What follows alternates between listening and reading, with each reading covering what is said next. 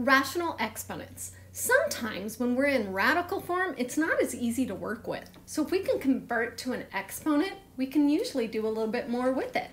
So how do we convert from a radical form to a rational exponent form? If we have the rth root of f, which is a real number, and p is an integer and it happens to be the exponent, then we can rewrite it as f to the p divided by r. Now, why am I using those variables? Well, p for power and r for root. And think about it. How does the flower grow? Well, we have the roots and then the flower explodes, right? So the root is on the bottom and the flower has the power on top. All right, so that's kind of being silly to try and have a way to remember how to rewrite these. So let's take a look and use this. We have 3y in parentheses. We're trying to take the fourth root of it and it's being raised to the sixth power. So keep those parentheses. And now we have to translate this into an exponent. Well, remember that the flower is powered by the roots. So the power goes on top and the root goes on bottom. The power is 6, the root is 4. Ooh, 6 fourths exponent? Why don't we reduce that? We just converted from radical form to rational exponent form. Looking at number 2, it's in rational exponent. Now we have to go back to radical form.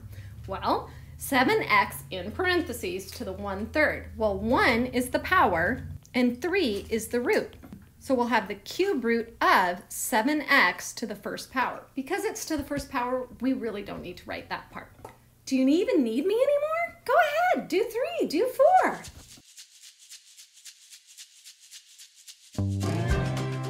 The only thing I would caution you about is make sure, for example, on number four, that you keep that 10y in parentheses. Be really clear on what each thing applies to. Here's a good reason to keep that in mind. Look at number five. Okay, 4 fifths. I see that exponent. Hmm, what does that apply to? Does that apply to the 2y? No, it's not in parentheses. What exponent is on that negative 2? Well, that's just a 1. So when we go to convert this to radical form, the negative 2 is just negative 2. It's going to just stay that coefficient in front.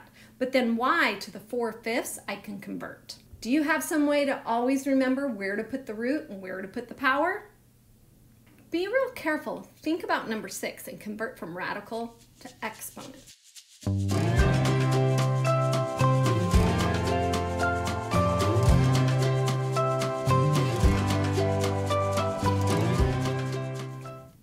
Was not raised to the third power. A was to the first power. So A to the 1 half times B to the 3 halves.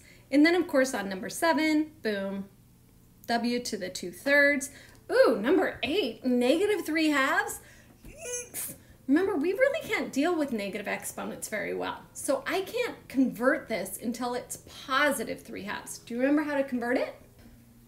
Exactly, it has that negative exponent, and to make it a positive exponent, I have permission to move. So it's up in the numerator, I kind of bring it down to the denominator and put a 1 on top to hold the spot for the numerator. Now convert the denominator to radical form.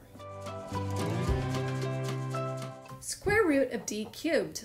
Hmm, lot of stuff going on there. For one, I can simplify that, right? Because square root of d cubed, I have d squared times d.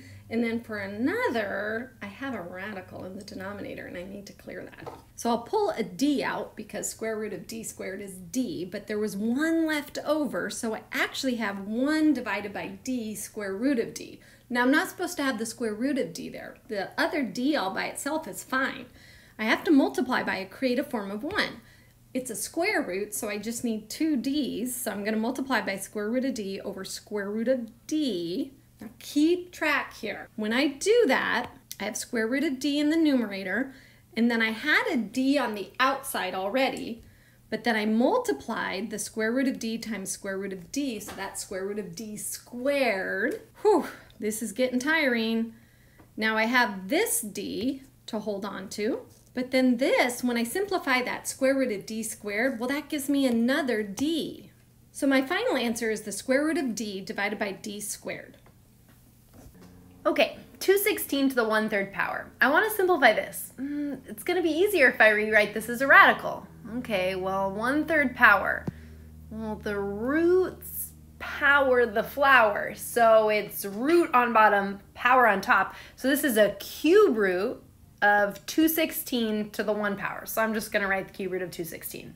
Okay, well, 216, that's just 6 cubed. We remember that from SOAP. So the cube root of 6 cubed would be 6. No problem. Let's try another one. The next one, 625 to the 1 4th power. You got it. All right, so we get 5 there because 5 cubed is 125 times 5 again is 625, so 5 to the 4th power. 11, negative 64 to the 2 thirds. Okay, so powers on top, roots on bottom, so it's going to be the cube root of negative 64 squared. Ew, I don't want to do negative 64 squared, so look what I can do. I can write this in an equivalent form. I can do the cube root of negative 64, and then I can say that that's all being squared. So I can put the squared on the outside. That makes my life a lot easier because the cube root of negative 64, well, 4 cubed, so I'm going to have negative 4 squared. Huh, that's so nice. Negative 4 squared is just 16, no problem. So if it's easier to write that exponent, the power on the outside, do that. All right, looking at this next one, I have 16 to the negative 2.5. I know negative 2.5 is just negative 5 halves. That way I can see that rational exponent. 16 to the negative 5 halves. Ugh, it's negative. We can't mess around with that. So let's go ahead and move that to the denominator, put a 1 in the numerator to hold its place. So 1 divided by 16 to the 5 halves. Now we can convert that to a radical. See if you can do it.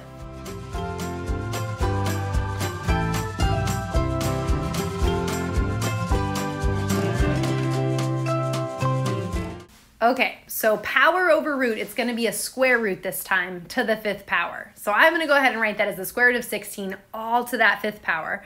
So square root of 16 is just 4, and then 4 to the fifth power, I don't know that one by heart, so I'm just going to leave it as 1 divided by 4 to the fifth power. Take a moment. I really think you got this last one.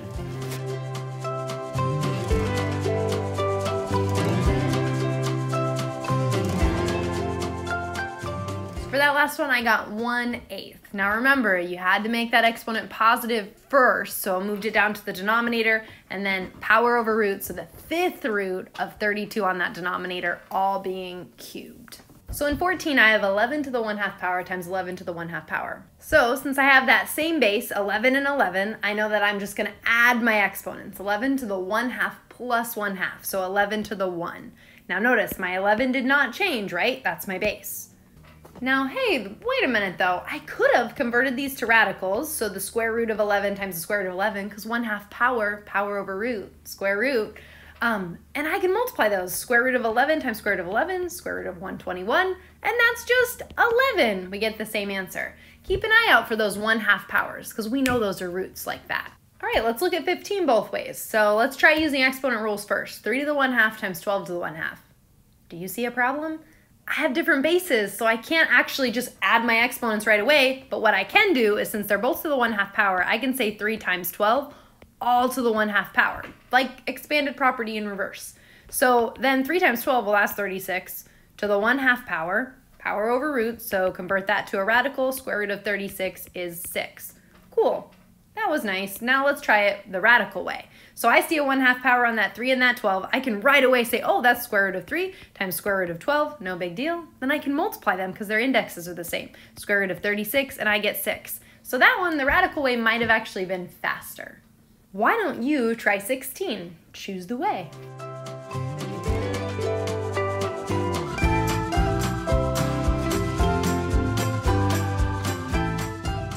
Those bases were different again, I went ahead and converted them both to cube roots really quick, multiplied, got the cube root of 216, and that's 6.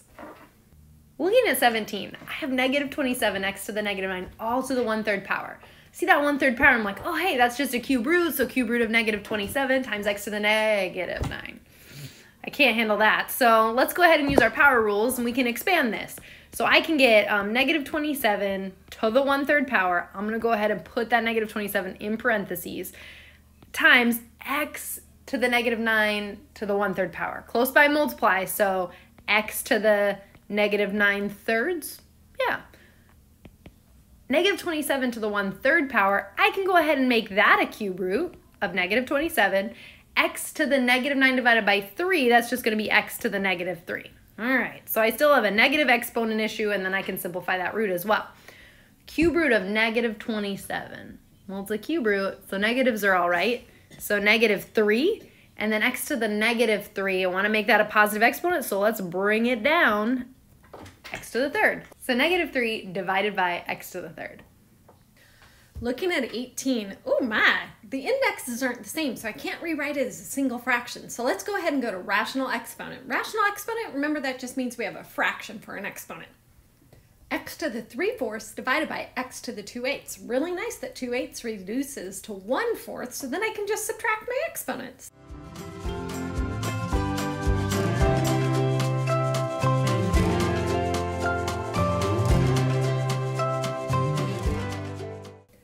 X to the 3 fourths minus 1 fourth is x to the 2 fourths. 2 fourths reduces to 1 half. x to the 1 half is the square root of x.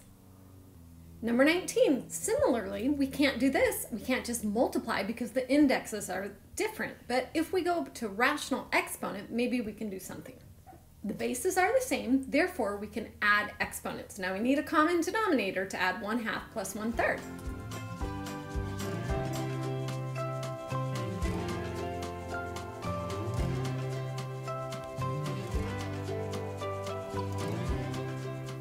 You see in my side note that we get 5, 6. 7 to the 5, 6, back to radical form.